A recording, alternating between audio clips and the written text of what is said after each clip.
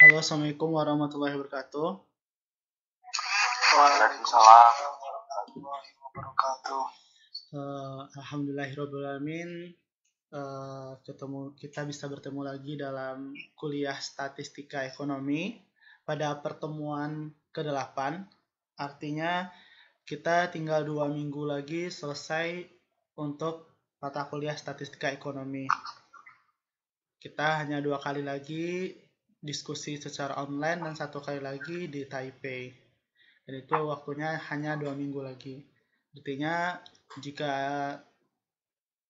eh, mahasiswa manajemen 12 ini masih ada yang belum paham agar bisa dipelajari berulang-ulang karena sebentar lagi akan memasuki masa ujian semesternya berarti. Dan masih 19 orang, masih ada 20 orang lagi yang belum bergabung. Dan untuk hari ini kita akan membahas tentang hipotesis. Ini adalah salah satu topik penting yang harus kita jika kita ingin e, melakukan penelitian. E, sebelum kita masuk diskusi oleh kelompok 6, itu ada lima orang. Siapa yang tahu apa itu hipotesis?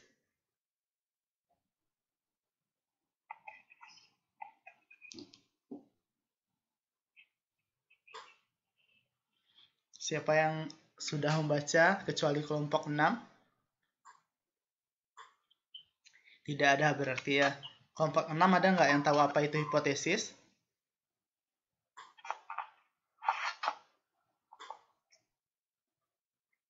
Metode pengumpulan Pak, kayak semacam uji gitu.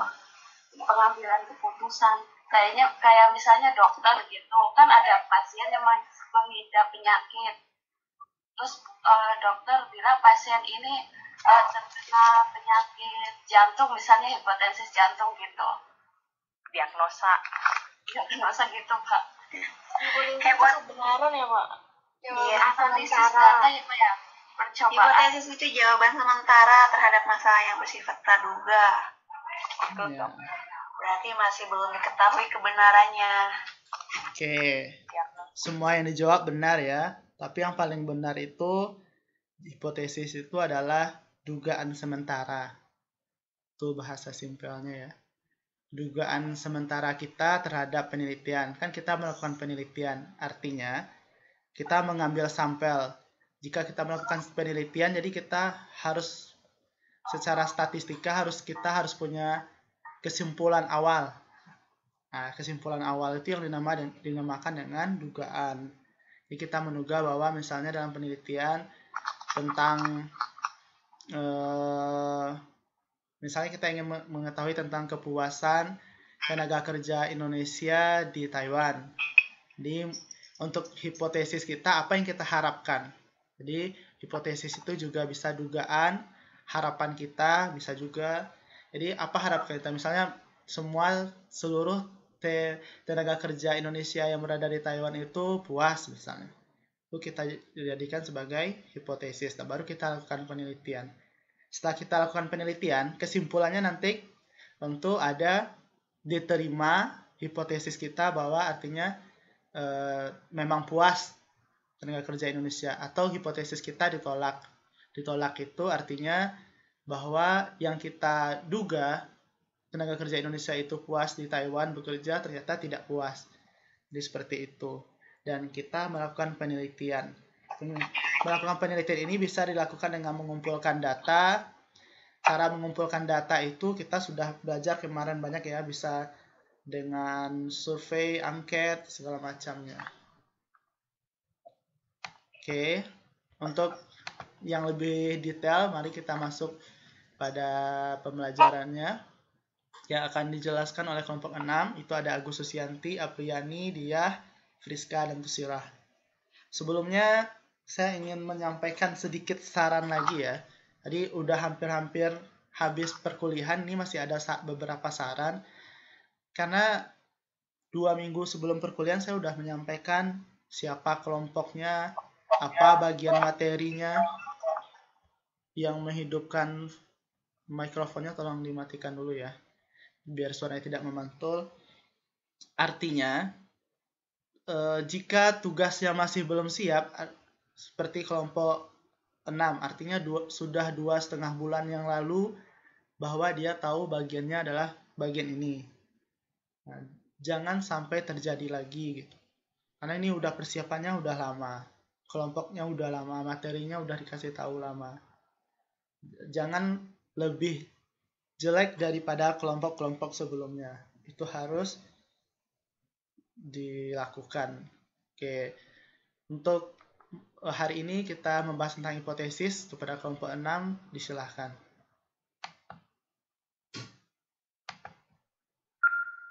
Oke, untuk slide pertama itu apa Pak? Eh, bagiannya Mbak Dia karena Mbak Dia hari ini shift malam jadi eh, Mbak Dia udah kasih rekaman ke Apriani. Rekamannya di Apriani.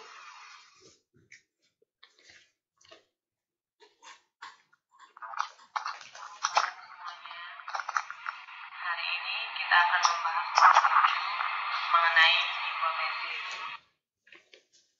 Pertama, di sini ada uji hipotesis dengan menggunakan dugaan rentang atau interval estimasi dan uji klasik atau satu sisi. Yang kedua, ada uji hipotesis klasik dua sisi dan uji hipotesis lanjut. Masuk ke pokok pembahasannya, ini adalah konsep uji hipotesis, lalu metode interval estimasi, metode uji klasik satu sisi dan dua sisi, metode p-value. Lalu menyimpulkan hasil uji hipotesis. Yang terakhir di sini ada keterbatasan uji hipotesis bagi anak pengambil keputusan.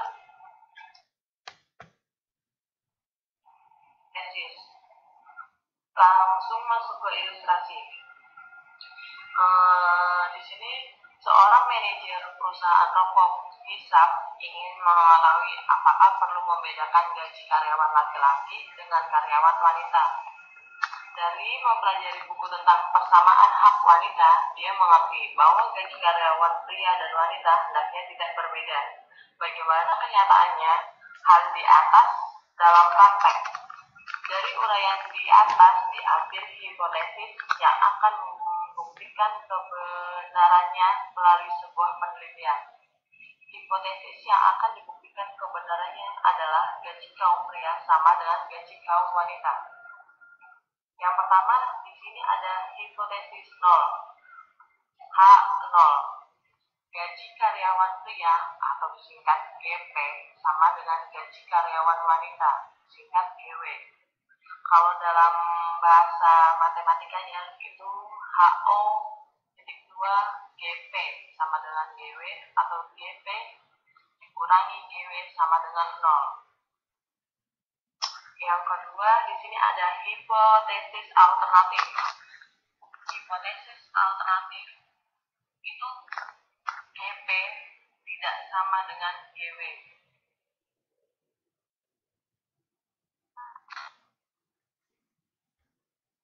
menggunakan uji dua sisi mana HA titik dua gaji pria kurang dari gaji wanita dan HA dua gaji pria lebih dari gaji wanita.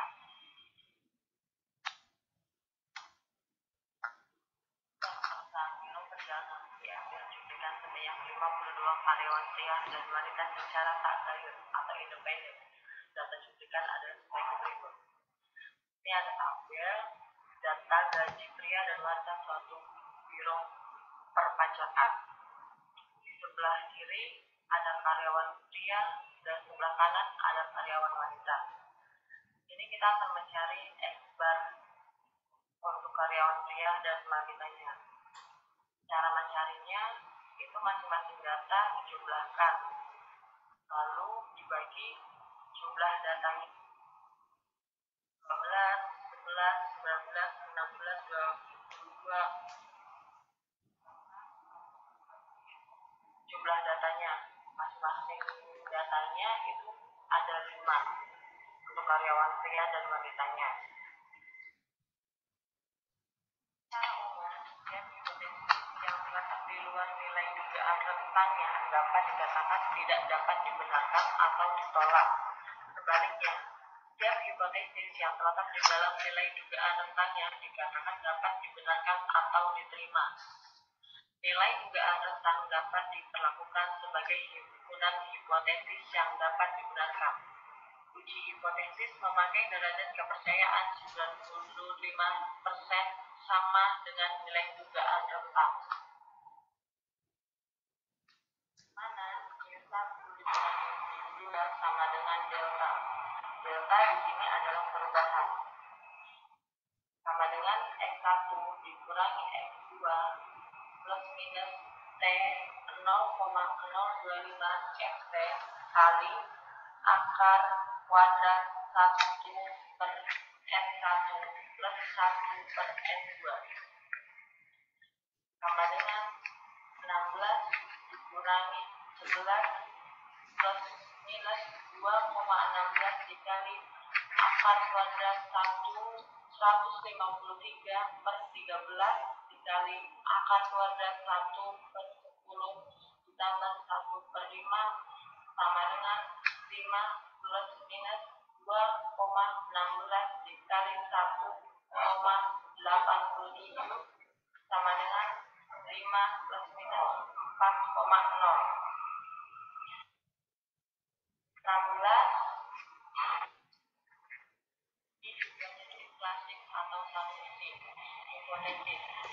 masalah kabel ini di mana diketahui X sama dengan 1200 jam dan sigma sama dengan 300 jam.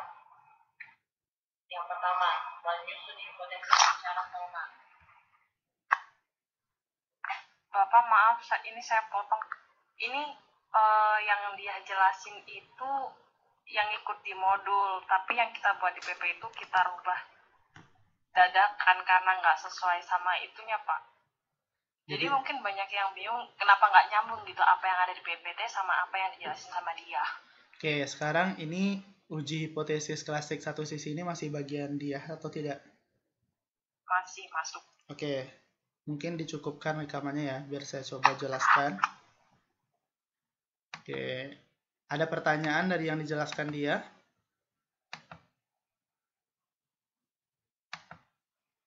Untuk masih ada orang, masih jam 10 ya. Roni Normalis, ada pertanyaan atau tidak? Belum, Pak. Oke, baik saya jelaskan di sini ya. Jadi hipotesis ini adalah salah satu topik penting yang harus dilakukan untuk membuktikan atau untuk menghitung dari data yang kita peroleh dari penelitian kita. Jadi, sekarang kita ketahui dulu apa itu hipotesis. Kita udah tahu tadi itu adalah dugaan sementara. Oke, dalam istilah uji hipotesis, kita mengenal dua istilah hipotesis, yaitu hipotesis nol dan hipotesis alternatif. Atau biasa disingkat dengan H0, bukan HO ya, H0, dan hipotesis alternatif bisa disingkat jadi HA atau H1. Jadi boleh HA, boleh H1. Oke, ada pertanyaan sampai di situ?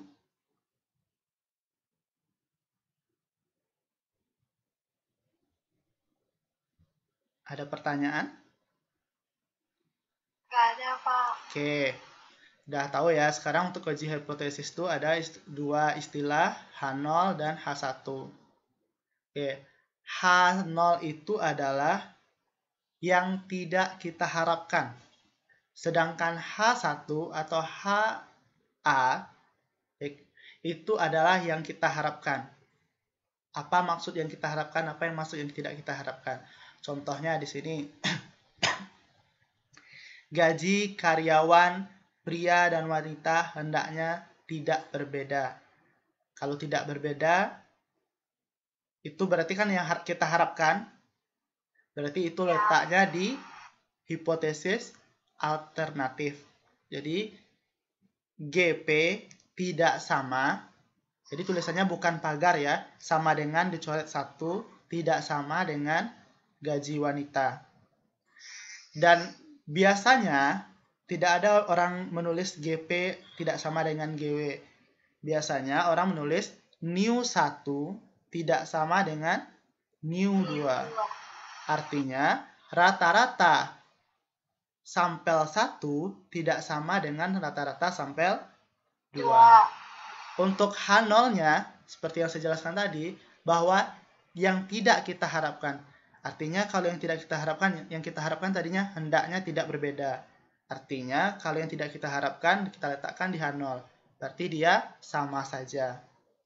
Atau bisa ditulis dengan new 1 sama dengan new 2. Oke, paham sampai di situ ada yang tidak paham? Paham. Oke, jika paham, kita lanjut lagi. Kita udah tahu tadi. Ada H0, ada H1. H0 yang, yang tidak kita harapkan, H1 yang kita harapkan. Berarti nanti pada kesimpulannya, kita inginnya H0 ditolak. Oke, artinya kita menerima H1.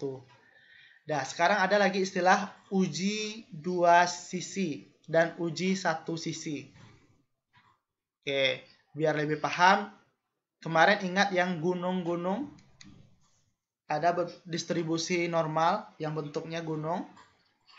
Kalau dia memiliki uh, di sini ada nggak ya?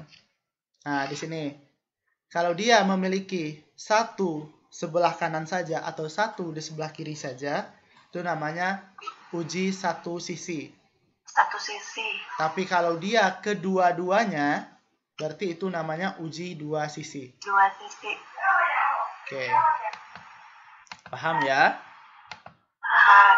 Oke, sekarang lagi kita udah tahu H0, udah tahu H1, udah tahu uji satu sisi, uji dua sisi. Oke. Untuk penulisannya, oke.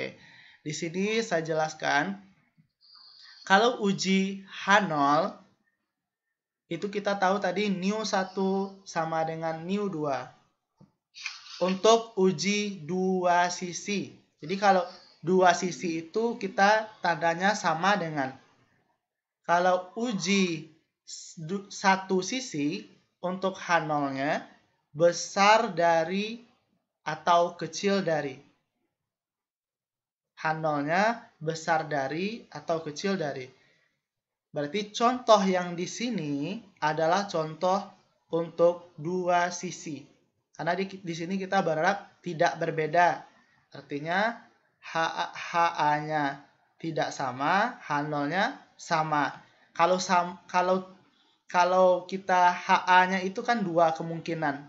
Kalau tidak sama itu bisa dia kecil sama atau besar sama. Makanya dia dinamakan dengan dua sisi. Kalau uji satu sisi, berarti misalnya soalnya saya ganti eh, bahwa gaji karyawan laki-laki lebih besar daripada gaji karyawan wanita. Berarti hak yang laki-laki lebih besar daripada wanita. Berarti kita letakkan itu di H1 atau HA. Artinya new 1 besar dari new 2. New 1 itu sebagai rata-rata laki-laki, New 2 itu rata-rata perempuan. Dan H0-nya kebalikannya. New 1 kecil dari, sama dari New 2. Jadi rata-rata gaji laki-laki kecil atau sama dari New 2 itu dinamakan dengan satu sisi. Jadi di sini ada salah ya. Ada uh, untuk HA-nya ini uh, dia di sini kurangnya menu, untuk menuliskan H0-nya. Uh, ini tidak salah ya karena dia tidak membicara uh, tidak membicarakan tentang H tidak membicarakan tentang uji satu sisi dan tidak membicarakan tentang uji dua sisi. Tapi dia letakkan di awal. Oke, untuk uji uji hipotesis alternatif atau HA itu untuk saya udah jelaskan tadi kalau HA-nya itu dia sa tidak sama. Tidak sama itu bisa dia kecil atau dia besar kalau dua sisi. Kalau uji satu sisi, dia itu kemungkinannya hanya satu.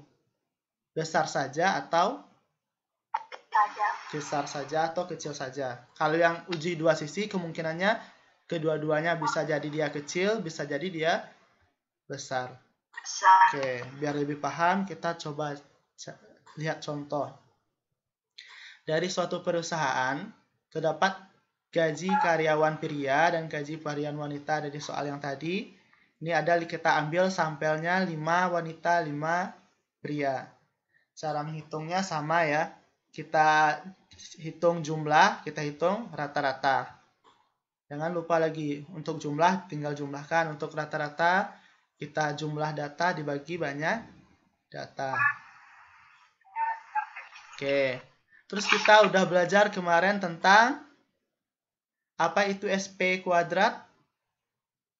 Yang S kuadrat itu apa kemarin? Populasi. Populasi, simpanan populasi. Yang S kuadrat itu kemarin varians. Kalau S saja itu standar baku, deviasi. Standar di sisi Ya, standar Deviasi. atau Deviasi. simpangan baku. Dia namanya banyak itu ya.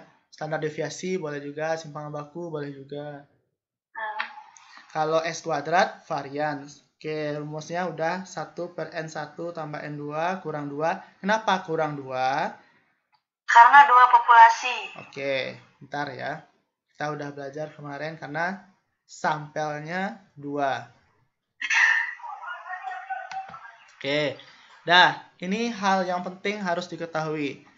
Untuk menguji hipotesis, jadi kita sekarang masuk lagi uji. Ya, ada pertanyaan? Ini kayaknya si dia ada di rekaman ini. Nah, tadi rubahnya waktu yang di tabel itu aja. Oke, silahkan dulu diputar ya. Bentar, saya cari dulu. Oke, sebelum diputar saya jelaskan dulu ya. Jadi untuk menguji hipotesis, tadi ada kita istilahnya satu sisi dan dua, Dua sisi. Oke, dia itu ada lima tahapan, yaitu membuat hipotesis. Jadi kita buat H0-nya apa dan H1-nya apa.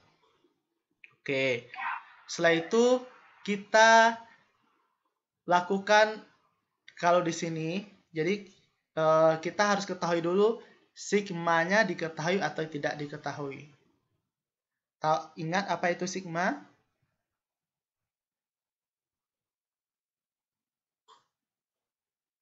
Sigma jumlah, Pak.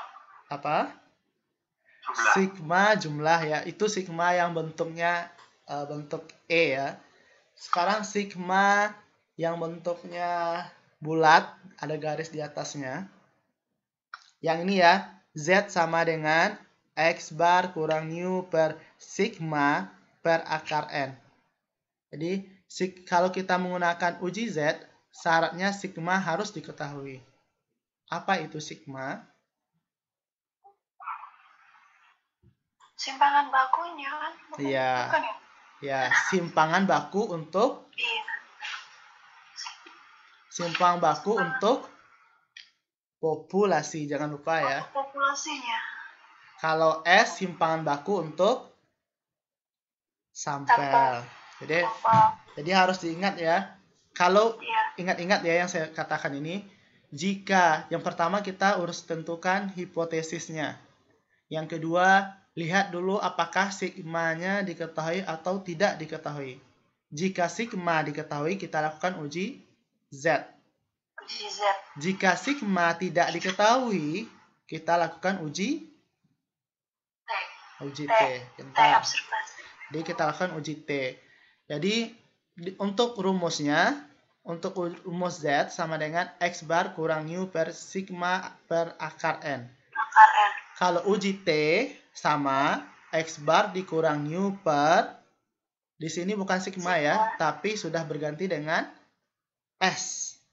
Karena dia sudah sampel S per akar N.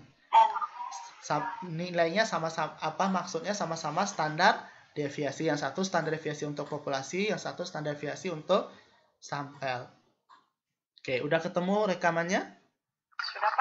Oke boleh diputar dulu ya nanti saya jelaskan lagi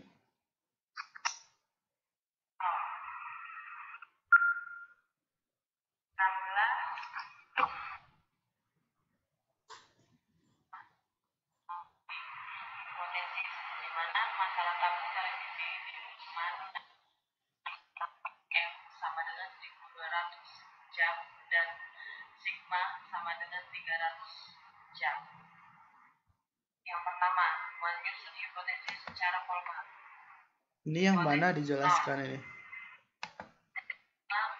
mu sama dengan 1200 Enggak yang tadi itu, Pak. dan hipotesis alternatif titik 2 mu Yang ini, dari hipotesis pasif. 1200.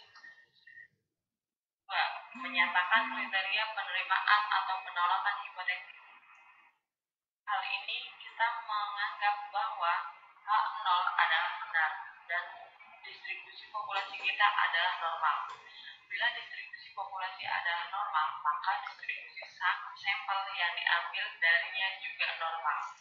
Cara yang lain adalah menganggap sampel atau cuplikan kita adalah random dan tak tak. Dan juga kita percaya bahwa central limit teorem berlaku. Dengan demikian, distribusi sampel kita adalah normal atau mendekati. Langkah berikutnya adalah membekukan nilai rata-rata sampel kita dengan rumus Z sama dengan X bar dikurangi mu per sigma dibagi akar kuadrat X sehingga tabel kurva-kurva normal dapat kita manfaatkan. Kriteria penerimaan atau penolakan hipotesis dengan derajat kepercayaan 95%. Ini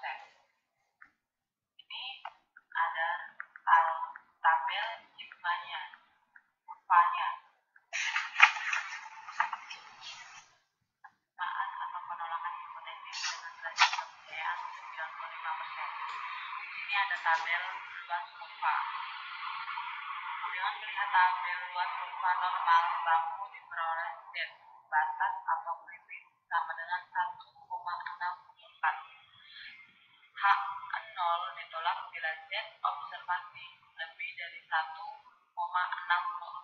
dan HO diterima bila Z observasi kurang dari 1,64. Selesai, Pak. Fungsi dia. Oke, Udah selesai ya. Saya lanjutkan lagi ya. Ada pertanyaan untuk sampai yang dijelaskan eh, dia dan yang saya jelaskan tadi?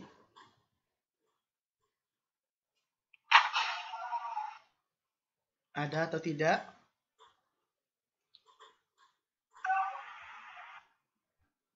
Oke, saya lanjutkan ya penjelasan. Jadi untuk melakukan uji hipotesis baik satu satu sisi atau dua sisi, langkahnya sama. Dia ada lima. Yang pertama berdasarkan buku ini ya. Jadi berdasar setiap buku dia ada tahapannya. Ha- semuanya hampir sama, tapi dia ada gaya masing-masing. Jadi menyusun hipotesis secara formal. Ini semua buku harus ya. Jadi kita harus tentukan H0-nya apa dulu, H1-nya apa. Untuk contoh soal ini, kita dike- diketahui soal ya. Andai kita hendak menguji sebuah hipotesis pada masalah tabung televisi di mana diketahui nu sama dengan 102 1200, sigma sama dengan 300, secara klasik maka hal-hal yang dilakukan adalah jadi di sini biasanya soal di- dikasih tahu ya dia besar atau kecil. Oke. Di sini kita ingin mengetahui jadi eh, kita tahu dari HA-nya itu yang diketahui soal itu adalah nu 1200 dan sigma bukan ini so, salah dalam pengetikan ya. Di sini nu 1200 jam dan sigma 300 jam. Bukan sigmanya bukan sigma ini. Oke. Untuk langkah pertama, kita tentukan hipotesis. Hipotesis kita lihat dari soal. Jadi sini soalnya se- untuk satu pihak dia harus dikatakan soal misalnya yang rata-ratanya lebih kecil dari 1200 gitu ya. Maka di sini letaknya new kecil dari 1200. Untuk H0-nya apa? Untuk satu pihak atau satu sisi. Siapa yang tahu?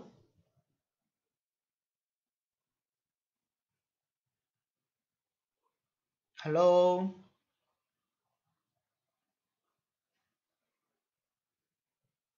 H0-nya kan itu 164. New H0-nya 1200. eh, pertanyaan saya H, H hipotesis, hipotesis alternatifnya new kecil dari 1200 H0-nya apa? 1200 1200, Pak. Yang 1200 tuh new ya. Sekarang hipotesis dugaannya berarti harapan kita rata-ratanya itu kecil dari 1200. Dan yang tidak kita harapkan apa? Yang saya jelaskan di awal tadi. Kalau new kalau HA-nya new kecil dari 1200 maka hipotesis nolnya H0-nya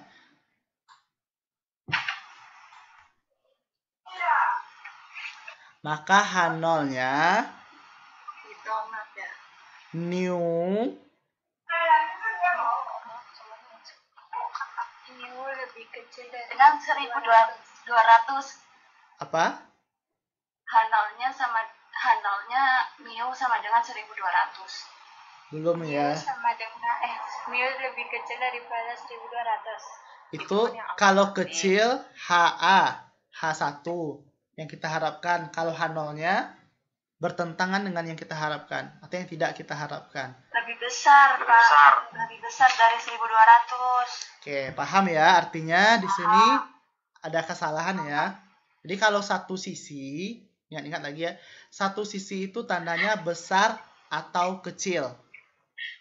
Kalau untuk dua sisi, tandanya sama dengan atau tidak sama dengan. Untuk H0-nya sama dengan, untuk H, H1-nya tidak sama dengan. Kalau untuk satu sisi, tandanya yang besar atau kecil. Oke, di sini berarti H0-nya seharusnya news besar da- besar sama dari 1200. Jadi kalau 200. kalau new H H1-nya new kecil dari 1200, maka H0-nya new besar sama. Ingat ya, besar sama tanda besar ada garis lagi 1200. Kalau misalnya H1-nya new besar dari 1200, maka H0-nya new kecil sama dari 1200. Oke. Sekarang udah paham untuk menentukan H hipotesis, untuk menentukan H0 dan H1-nya semuanya. Paham. Oke, itu kita kita ketahui dari soal. Nanti semakin banyak soal kita semakin paham gitu. Oke, selanjutnya Selanjutnya, kita menyatakan kriteria. Jadi kita harus hitung dia menggunakan perhitungan Z atau T. Caranya saya udah kasih tahu tadi, lihat apakah diketahui sigmanya. Jadi di soal kita diketahui atau tidak sigmanya. Diketahui. Oke, Diketahui, Pak. diketahui ya sigmanya sama dengan 300 300. Oke, artinya kita menggunakan uji Z. Oke, dah kita gunakan uji Z. Uji Z. Sekarang kita lihat grafik. Nah, kalau grafik satu sisi itu dia sebelah kanan aja atau sebelah kiri Sebelah kiri. saja. Oke, untuk kita untuk menentukan letaknya, kita lihat yang H0-nya. H0-nya new besar dari 1200. 1200. Berarti letaknya di sebelah kanan. Oke. Kalau H0-nya new kecil dari 100 1200, letaknya di sebelah. Kiri. Oke. Kalau misalnya ini bukan satu sisi ya, saya jelaskan langsung yang dua sisi. Kalau yang dua sisi berarti kan sama dengan untuk H0-nya, untuk H1-nya tidak sama dengan. Artinya Iya, iya. letaknya di kiri dan di kanan dan kiri Kanan. Oke. di dua sisi Oke, dah ya. Terus yang ketiga, kita menghitung Z. Sebelum menghitung Z, yang kedua ini kita harus mengetahui Z tabelnya berapa. Oke. Kalau kita uji Z, kalau kita uji Z, lihat Z tabel. Kalau kita uji T, lihat T tabel. tabel. Oke, Z tabel kita. Kita lihat bagaimana cara melihat Z tabel. Z tabel berdasarkan Dari derajat kepercayaan dan Ah. derajat error. benar ya. Kita lihat dari derajat ke kita lihat dari signifikansinya atau tingkat kepercayaannya. Jadi kalau di soal di- dikatakan bahwa tingkat kepercayaannya adalah 95%, 95%. Berarti tingkat errornya itu 5%. 5%. Artinya 5%. artinya kita ambil 0,05. 5. Nah, Oke, terus kita sesuaikan dengan sampel yang kita ambil seperti yang di tabel. Terus kita kita lihat nanti di Z tabelnya. Oke, begitu juga dengan T. Nanti kita kita udah belajar itu kemarin untuk melihat Z tabel dan T tabel. Dan untuk di kasus ini Z tabelnya itu 1,64. 4. Oke. Selanjutnya kita lagi lihat Z hitung. Kalau di sini namanya Z observasi. Jadi Z hitungnya sama dengan rumusnya kita tadi ada di, dibuat ya. X bar kurang mu per sigma per akar N. Oke. Kita masukkan lagi yang kita ketahui X bar berapa X bar? 1265 Dari mana kita dapat 1265 itu? dari kurva. Dari bar observasi yang kurva ini, Pak. Oke, seha- kalau dalam soal seharusnya dikasih ya di dalam soal lengkap-lengkap karena ini contoh pertahap. Jadi dia buatkan di tabel, eh di grafik. Jadi kita lihat X barnya 1265.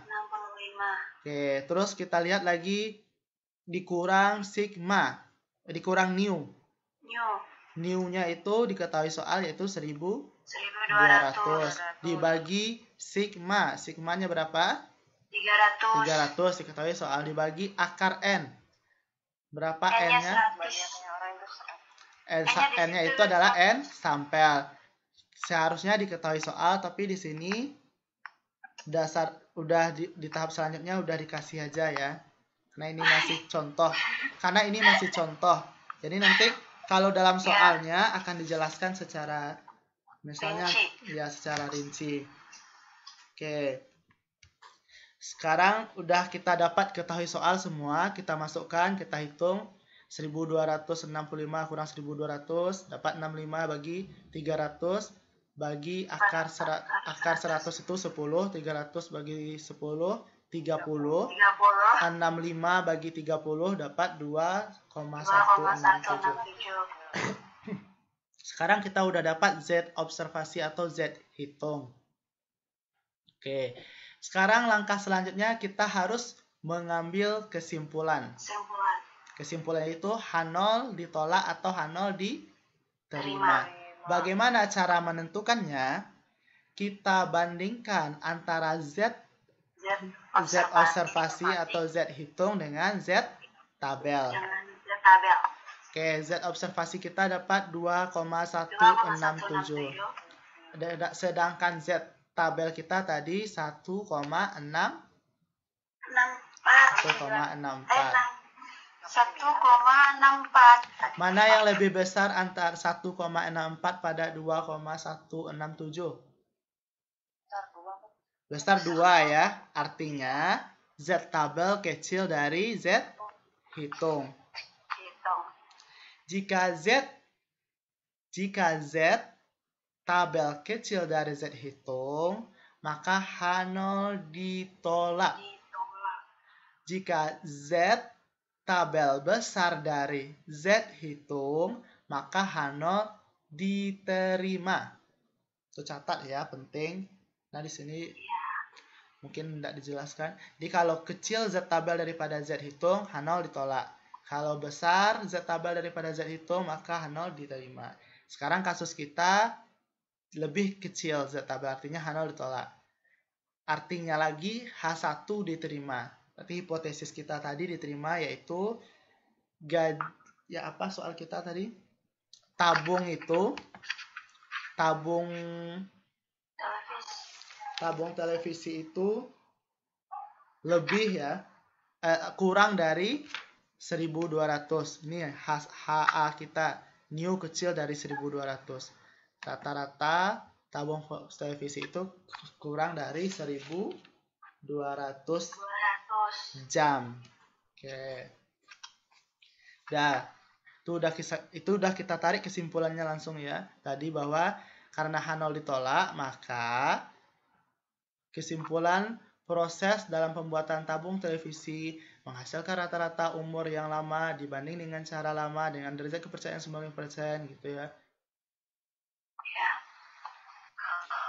Oke, ada pertanyaan sampai di sini? Ada atau tidak?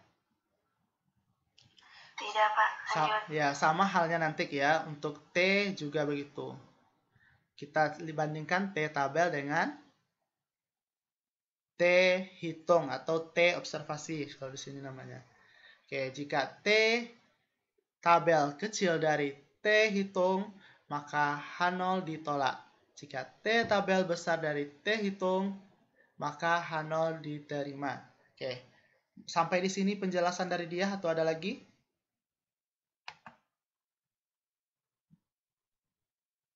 Kelompok yang tampil.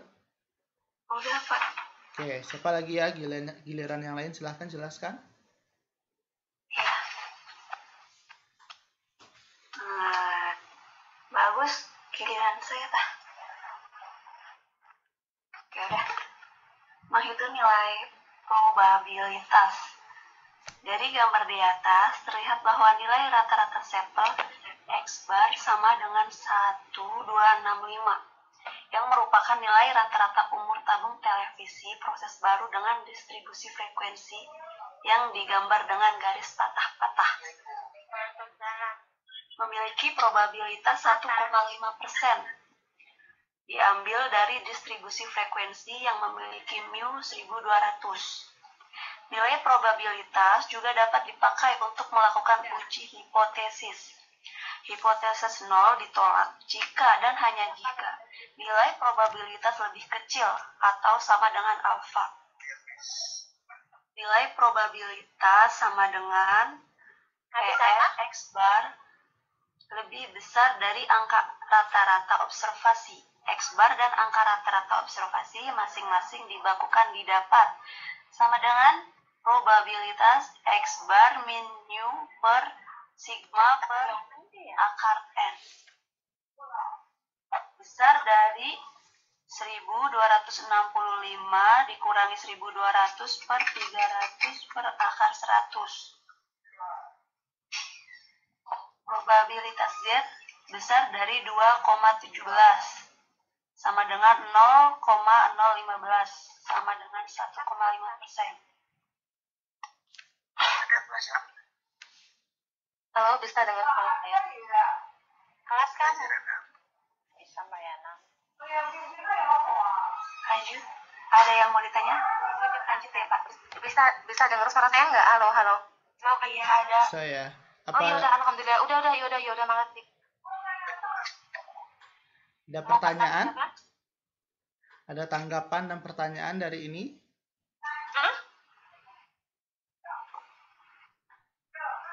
Oke, biar lebih paham kita lanjut lagi ya. iya pak Oke, silakan. Langsung, langsung ke ini, tak, Pak? Oke. Langsung ke contoh, apa? Yang yang paling gampang itu kita langsung masuk contoh dua ini ya. Nanti Oke, itu Pak. akan dijelaskan secara detail. Apa maksud yang kita jelaskan tadi? Silakan. Contohnya, suatu pabrik tahu memiliki standar produksi 85%.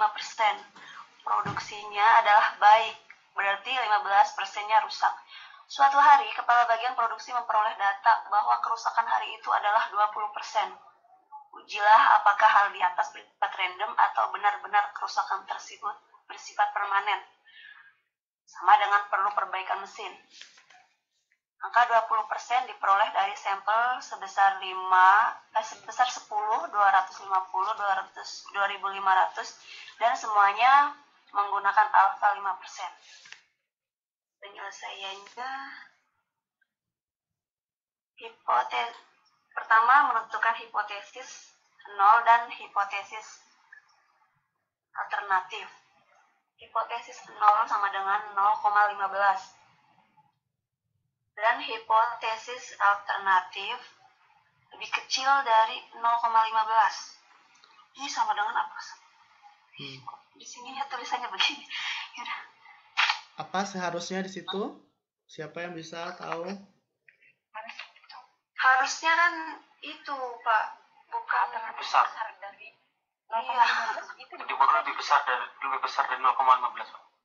Oke, yang kita baca soal sama-sama biar paham ya, bukan sam- baca dalam hati ya, biar saya baca sendiri. Kalau baca semuanya nanti hilang suara saya. Oke, suatu pabrik tahu memiliki standar produksi 85%. Yang baik artinya 15%-nya lagi rusak. Suatu hari kepala bagian produksi memperoleh data bahwa kerusakan hari itu adalah 20%. Ujilah apakah hal di atas di atas bersifat random atau benar-benar kerusakan tersebut permanen. Sama dengan per, art- artinya dia apakah perlu perbaikan mesin atau tidak. Angka 20% diperoleh dari sampel sebesar dengan tingkat kepercayaan dengan alfa 5%.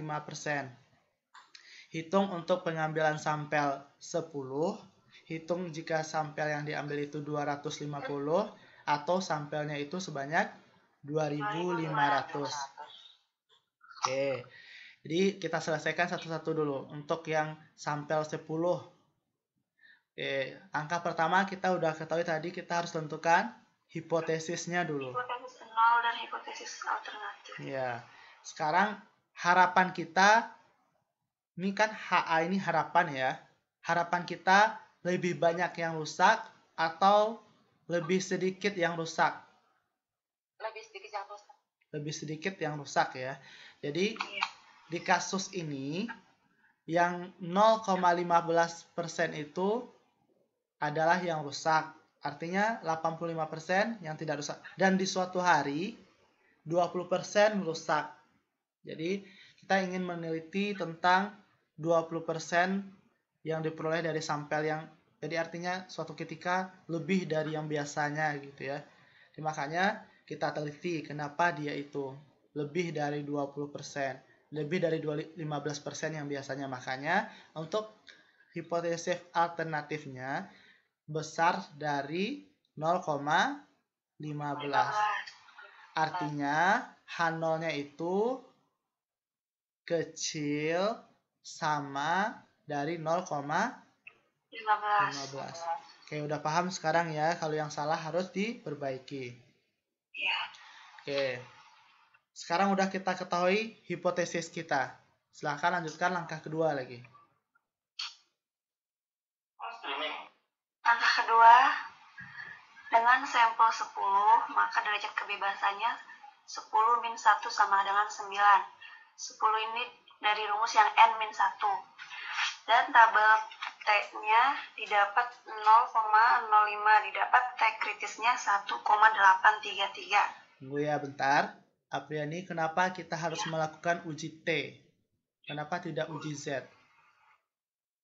Karena di sini eh karena sampelnya sedikit sampelnya siapa yang jawab ya udah ada yang membantu jawab. Yes. Siapa aja boleh jawab ya. Iya. Apa yang alasannya? Karena di sini sampelnya sedikit, jadi tidak perlu memakai Z. Oke, saya jelaskan lagi ya. Kita melakukan uji Z atau T itu lihat apakah sigmanya diketahui atau tidak. Belum. Oke. Tak, sekarang udah ingat lagi ya. Iya. Bagaimana dengan jika itu untuk datanya kecil dari 100. Kemarin kita ada bicara tentang data kecil dari 100, ada bicara data besar dari 100. Kalau udah besar dari 100, kita udah menganggapnya itu seperti populasi. Saat kita menghitung standar deviasinya, ingat nggak timpangan baku dibaginya bukan N kurang satu lagi, tapi udah dibagi dengan N. Sama dengan populasi. Makanya kita udah menganggapnya populasi. Kalau kecil dari 100, kita lihat apakah sigmanya diketahui atau tidak. Kalau diketahui sigmanya, kita lakukan uji Z. Kalau tidak, kita lakukan uji T. Oke. Nah, sekarang kita tidak ketahui, berarti kita lakukan uji T. Uji T itu rumusnya yaitu X bar dikurang nu dibagi akar dibagi yang kita gunakan rumus yang sama dengan yang tadi ya dibagi S dibagi S bukan sigma lagi ya. Kan kita udah sampel sekarang. Dibagi S per akar N. N. oke. Terus itu untuk langkah ketiga. Untuk langkah kedua kita harus melihat dulu T tabel karena kita akan membandingkan antara T tabel dengan T hitung atau T observasi T tabel bagaimana cara melihatnya? Sekarang semuanya lihat T tabel. Be- Sebelum kita lihat, kita butuh apa yang kita butuhkan. Berarti yang kita butuhkan adalah tingkat signifikansinya atau tingkat berapa persen yang kepercayaan kita harapkan. Di, di sini berapa yang kita harapkan? Di sini tidak dikasih tahu ya. Artinya sembil, kalau biasanya dalam penelitian itu saya udah jelaskan kemarin itu 95 persen. Tambah 5%. tapi kan di sini udah ada itunya pak alfanya 5% Mana? tingkat errornya udah diketahui 5% jadi kita bisa dapat hasilnya dari DF9 itu dari 10 min 1 dan bisa dicari di, da- di tabel T-nya itu 1 min 0,05 Ya. sama dengan 0,95 Ya, jadi di, di DF9 soalnya udah di soalnya udah dikasih tahu ya. Iya Pakai alfa, pakai alfa sama dengan 5%. 5%. Artinya 0,05. Oke. Alfanya 0,05. Kalau dia satu sisi, kita gunakan lihat tabel 0,05. Kalau dia dua sisi, kita bagi 0,05 jadi 2. Artinya 0,025. 25 Untuk melihat tabel, kita lihat jumlah sampel. 0,25 ya Apa?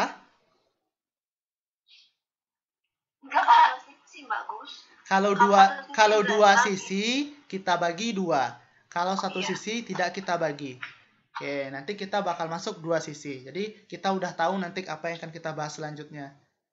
Oke, untuk mem- untuk melihat T tabelnya kita gunakan tingkat alfanya itu 0,05 diketahui soal. Untuk melihat DF, nah itu ada DF itu DF-nya 10 dikurang 1 9 ini ya DF-nya untuk satu sisi n kurang satu. 1 Oke. Jadi n-nya n itu sampel ya. sampel Sampelnya 10 kurang 1 itu dapat 9. Kita lihat tabel yang DF-nya 9 dan tingkat kepercayaannya itu 0,05. Diketahui soal. Oke, ini ada T tabel. Kita lihat yang nilainya 0,05. 05 Oke, ini tabelnya juga eh, sedikit apa ya? Masih ada tabel yang lebih bagus lagi gitu maksudnya. Oke, kita lihat. Kepelecehan. DF-nya 9 Jadi setiap buku itu ada punya tabel sendiri ya. Nilainya mungkin sedikit berbeda atau bagaimana. Oke, kita lihat DF-nya 9 yang sebelah kiri. Oke. Terus yang 9 kita lihat yang sejajar dengan 0,05. 0,05 Di mana letaknya 0,05?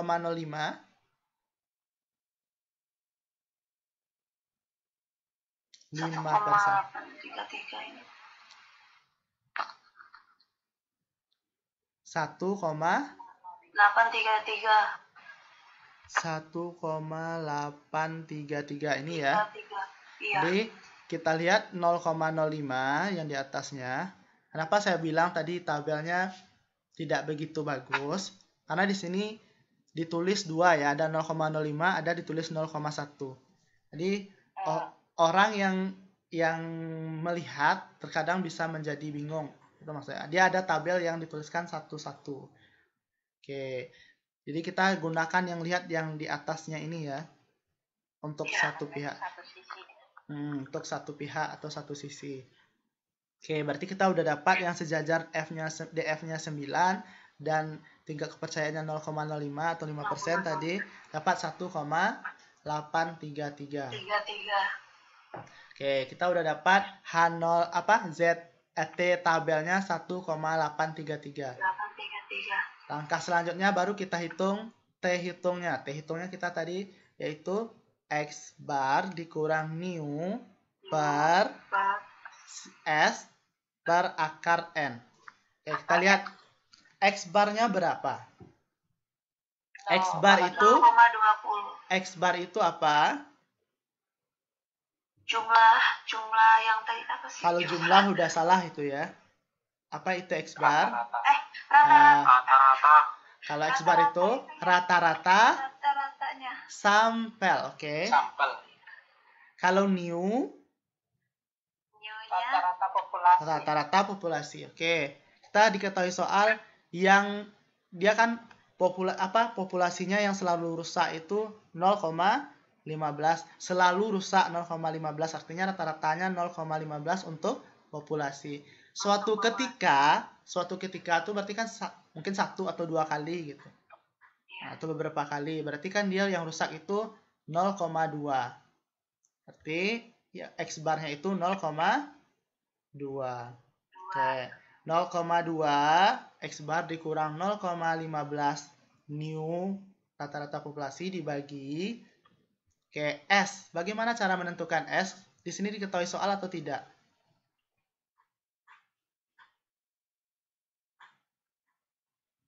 standar deviasinya ya Ya, baga- ingat nggak bagaimana cara mencari standar deviasi?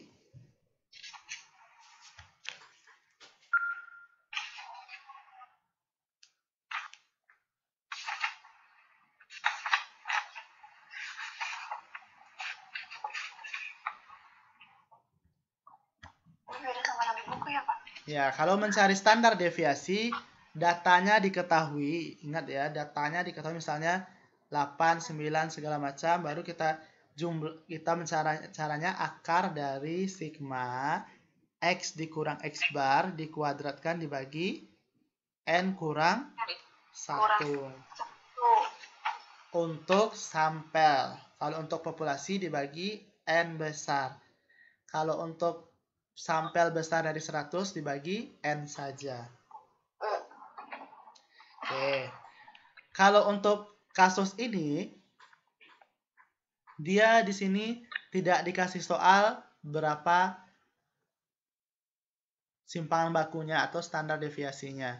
Artinya datanya pun tidak diketahui. Oke, sehingga di sini dia menggunakan di sini dia menggunakan akar 0,15 kali 0,85 dibagi n.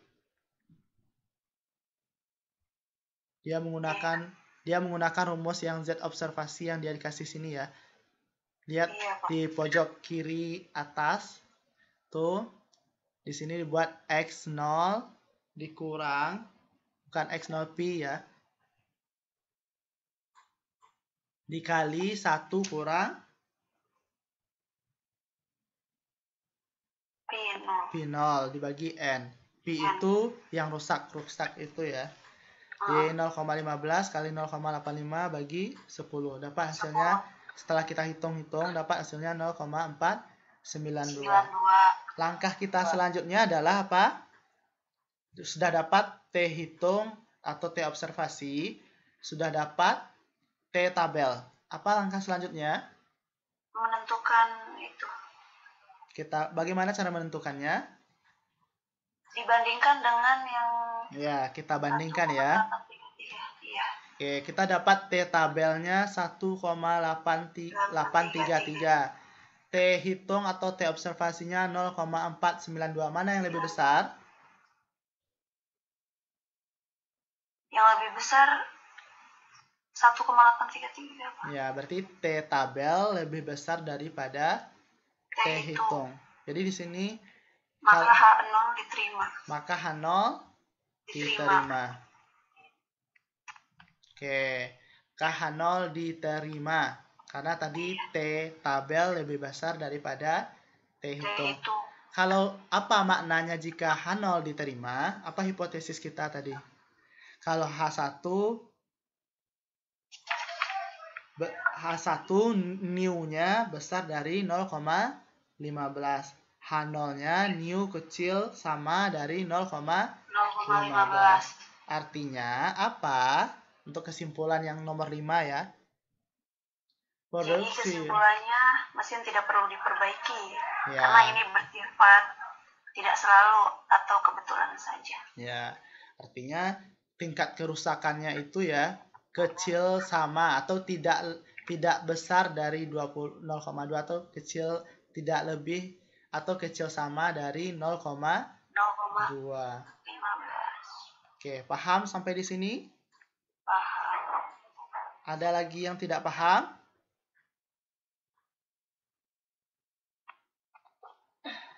Ada yang tidak paham?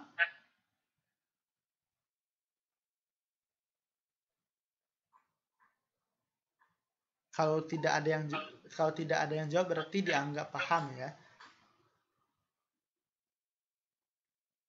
Ada lagi yang tidak paham? Paham, Pak. Oke, jika paham, sama halnya untuk nomor B dan nomor C. C. Oke, cuman sampelnya saja yang berbeda.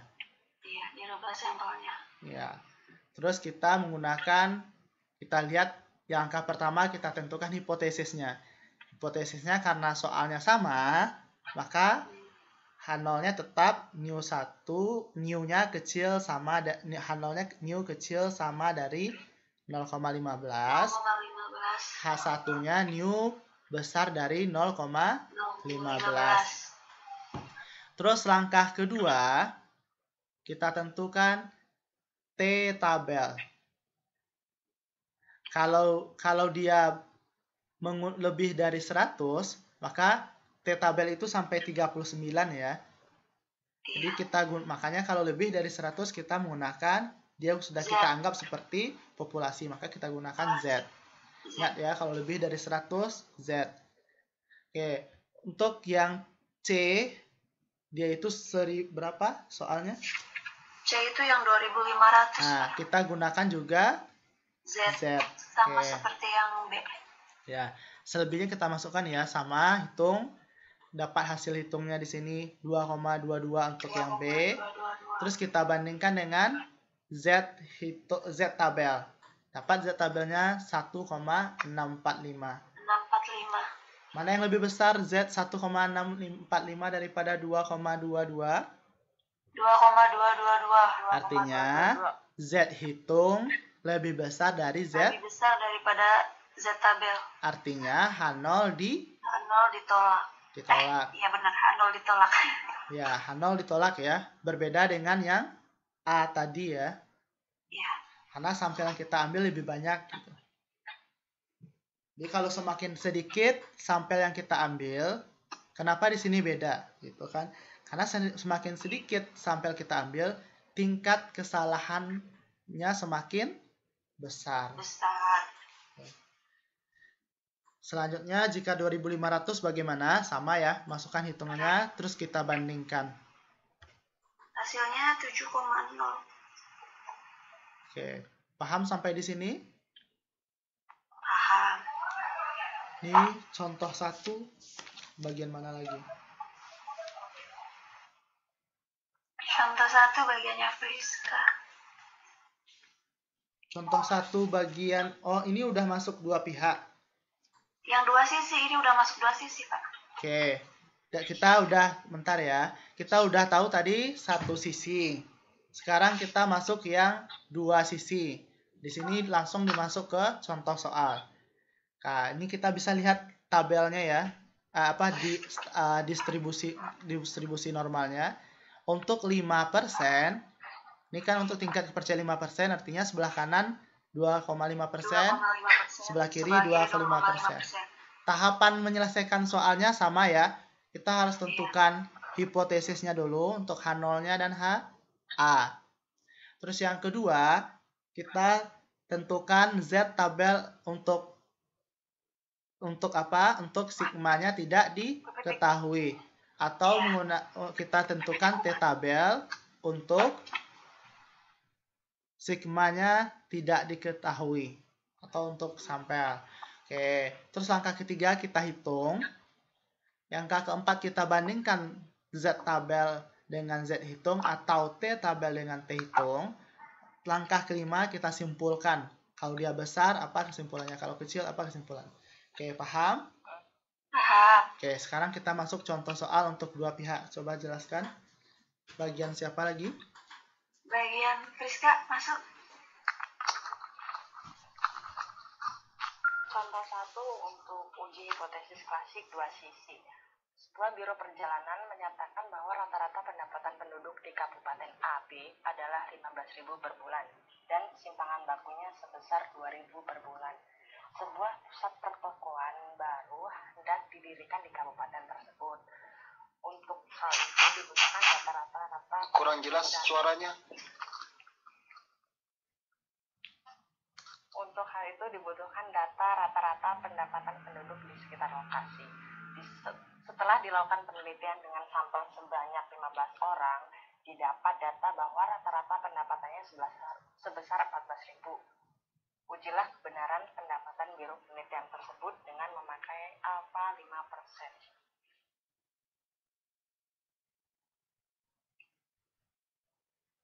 Next. Pak.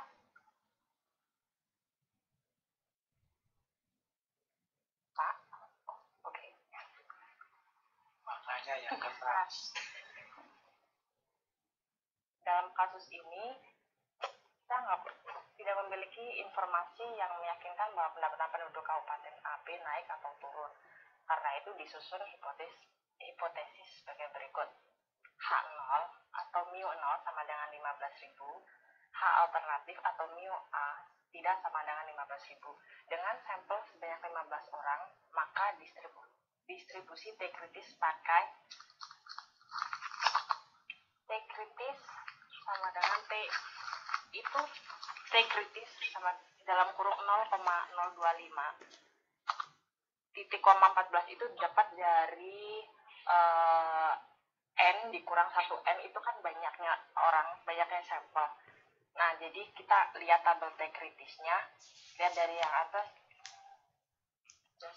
Pak.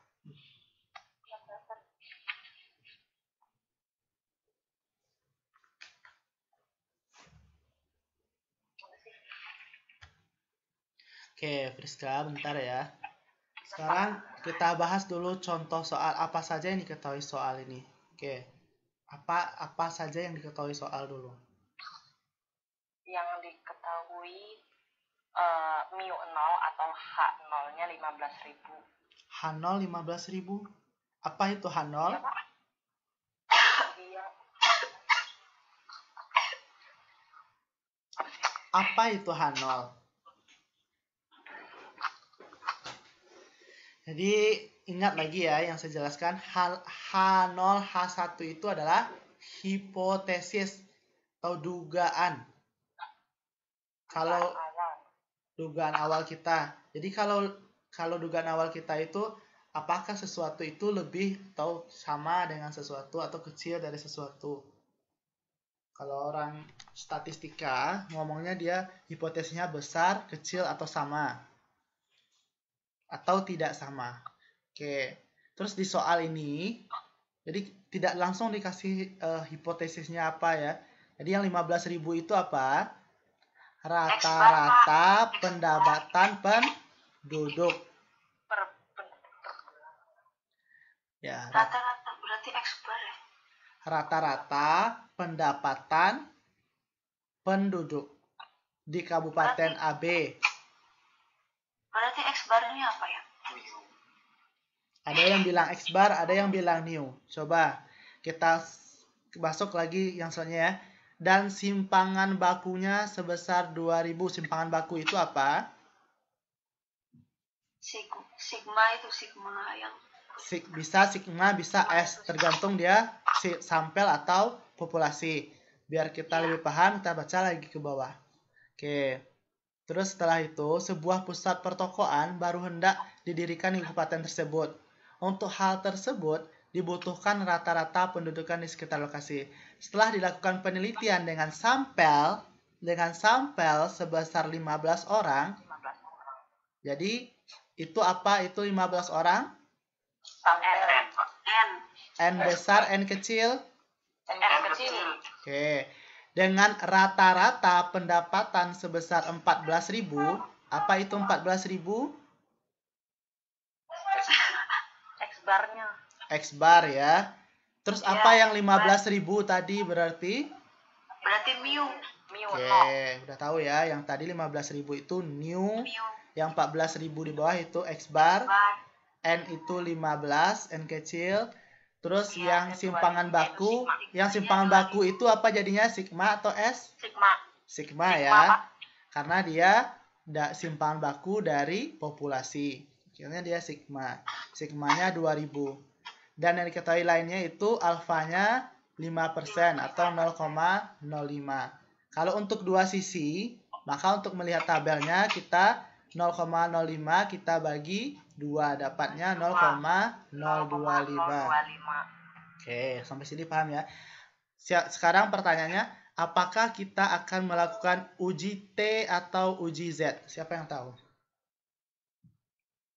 Uji. Uji T, Pak. Uji T. Uji T karena sampelnya sedikit kurang dari 99. Oke, pertanyaan selanjutnya.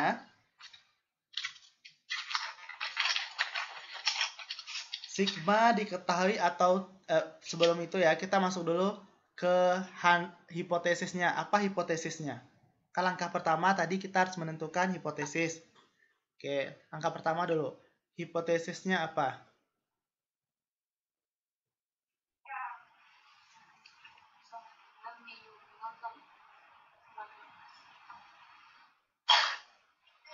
Hipotesisnya 15.000. H 0 mu 0. Apa itu? Ini. Baca soal, baca soalnya ya. Ujilah ke dari sebuah biro perjalanan menyatakan rata-rata pendapatan di kabupaten 15.000, simpangan bakunya 2.000. Sebuah pusat pertokoan baru hendak didirikan di kabupaten tersebut. Untuk hal tersebut dibutuhkan rata-rata pendapatan di sekitar itu. Terus setelah dilakukan penelitian dengan sampel sebesar 15 orang, didapat bahwa rata-rata pendapatannya sebesar 14.000. Ujilah kebenaran pendapatan biro penelitian tersebut dengan memakai alfa dengan Alfa dan 5%. Ya. Oke. Kalau soalnya biasanya soal itu bukan biasanya se- soal untuk dua sisi itu. Jadi kalau dalam ujian itu kan tidak dibikin ya eh, dia dua sisi atau tidaknya. Jadi diketahui dari soal. Kita mengetahui dari soal itu kita lihat nanti kalau dia diketahui misalnya hitunglah perbedaan itu menggunakan dua sisi atau kalau hitunglah apakah ini lebih baik dari ini atau ini lebih tinggi dari ini itu menggunakan satu sisi. Karena kita sekarang tidak diketahui soal dan letaknya itu di kan ini contoh soal dari dua sisi benar ya letaknya itu di dua sisi maka kita ketahui ini dua sisi dua sisi itu tandanya sama dengan jadi apa H0-nya apa H1-nya jadi kita dulu ketahui HA-nya apa 15. Lima- Tidak tidak sama mu 0-nya atau mu 0 mu nolnya 15.000. Mu A mu A-nya tidak sama dengan 15.000. Ya, itu untuk hipotesis hipotesis alternatif atau H1. Untuk H0-nya dia sama dengan 15.000. Oke, ada yang tidak paham dengan itu sekarang? Paham. Oke, udah. Kalau udah dapat hipotesisnya, langkah kedua, kita hitung dulu Z tabel atau T tabel. Sekarang kita udah tahu tadi kita akan menggunakan Oke. Pakai yang T tabel. Kita menggunakan T tabel.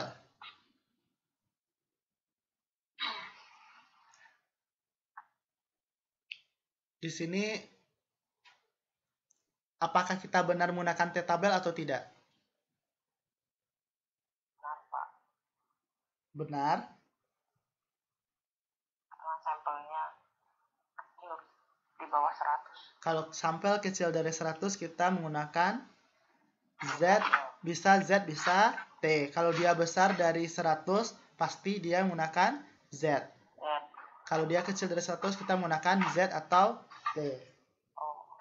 Oke, bagaimana cara kita menentukannya T atau Z? Maka kita gunakan, kita lihat sigmanya diketahui atau tidak. Sekarang sigmanya diketahui atau tidak? saya tahu 2000. Oke, artinya sigma diketahui. Kalau sigma diketahui, maka kita menggunakan Z, bukan menggunakan T. Kadang, Tapi di buku itu makanya yang itu loh Pak, yang Ya. apa gitu. Apa dibagi dua itu kan tadinya kan 0,05 jadi 0,025 itu. iya, kalau alfa bagi dua itu kita lihat berdasarkan apa dua dia itu dua sisi atau tidak. Oke, dia menggunakan dua sisi atau tidak. Hanya 0, karena kita belajar sekarang tentang dua sisi maka 0,05-nya dibagi dua. Oke, kita lihat di dalam buku itu dibuat T observasi X bar dikurang nu per sigma per akar N. Di sini dibuatkan sigma. Sedangkan diujikan yaitu T. Sedangkan kita ketahui tadi kalau dia uji Z baru menggunakan sigma. Kalau dia T menggunakan S. Masih ingat? Kalau untuk sampel kita gunakan S. S itu standar deviasi untuk sampel. Kalau sigma standar deviasi untuk populasi. Oke. Cara menghitungnya sama ya. Kan di sini kita masukkan. Oke, langkah kedua kita, untuk menghitung kalau di sini kan kita menghitungnya berdasarkan Z tabel. Oke. Jadi ada kekeliruan di buku ya. Setelah itu baru kita gunakan baru kita hitung Z-nya.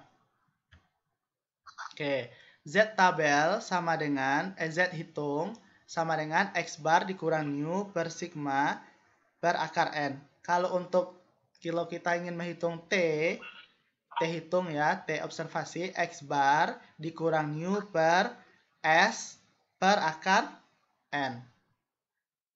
Sigma dan S itu sama-sama standar deviasi.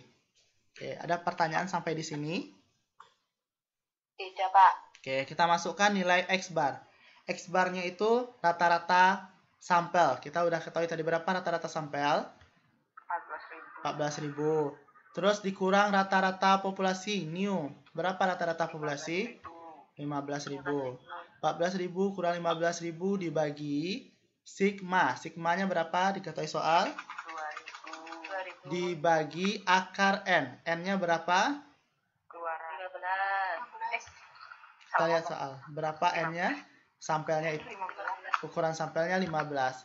Nah, setelah itu kita kurangkan ya, dapat min 1000, dapat hasilnya setelah diakarkan, di, terus 2000 dibagi akarnya, dapat hasil akhirnya itu negatif, 1,936. negatif atau positif. Negatif, Pak. Itu kurang tanda sebenarnya yang itu juga 14.000 kurang 15.000 itu sebenarnya di Ya. buku juga nggak ada minus. Ya kan? Negatif dibagi positif adalah negatif. Negatif. Oke. Negatif. Sekarang kita udah dapat hasilnya.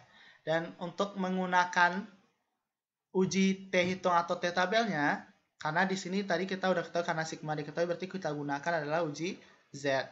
Coba kita lihat tabel Z. Sampelnya eh, apanya tingkat keyakinannya itu 0,025 ya. Kita udah ketahui kemarin coba melihat tabel untuk 0,025 itu berapa? 1,96. Masih ingat? Bapak boleh dikasih lihat tabel T itu ada semua, Pak.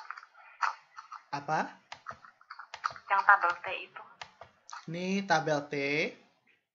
0,25 itu tarik ke bawah kan ada tuh, Pak. Yang Z tuh 1 kok dapat 1,9. Kita Z menggunakan Z tabel ya. Kita lihat 0,025 nilainya. Mana 0,025. Jadi 0,025 ini letaknya di 1,96. Itu di buku yang kita pakai tabel kemarin. Kalau di tabel ini, kalau di tabel ini dia banyak buku, banyak macam tabelnya ya.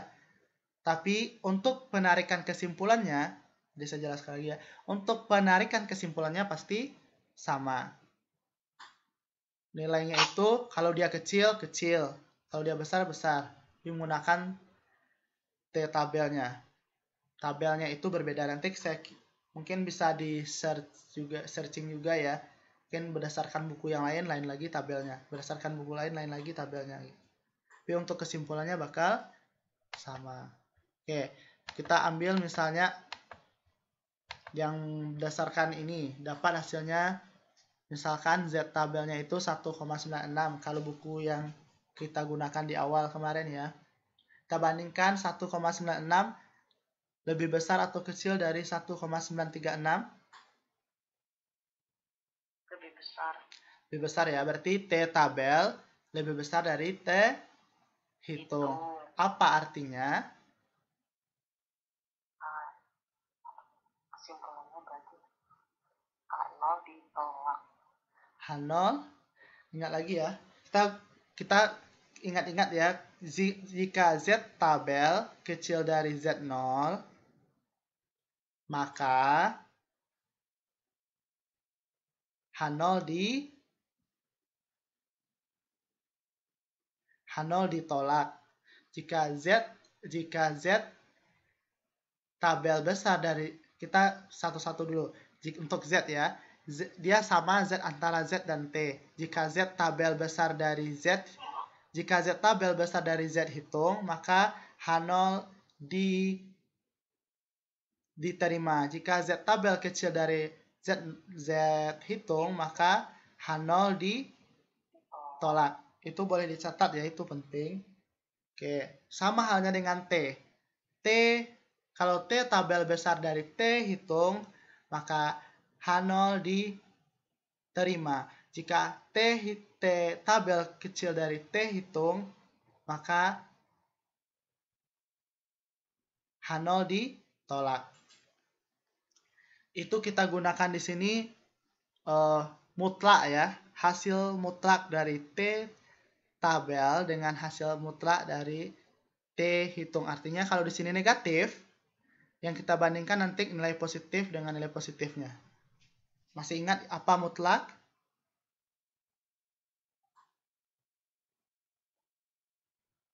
Masih ingat? Halo?